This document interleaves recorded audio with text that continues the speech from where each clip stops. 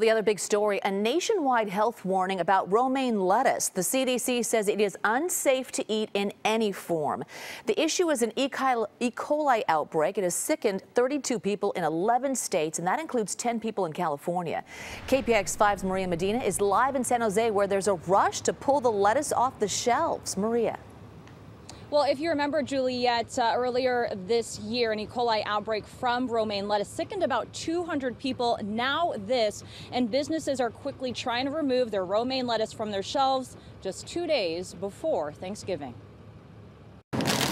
the shelves. We pulled all our romaine lettuce that was right there. To the salad bar and even the ready-made salads. These are all our Caesar salads we had to pull off. Zanotto's manager Jesus Beltran worked quickly to make sure he pulled all romaine lettuce from his San Jose grocery store.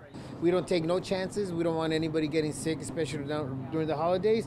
So we decided to pull everything. The CDC says 32 people from 11 states became ill from E. coli between October 8th to the 31st. 10 are from California. So far, no one has died.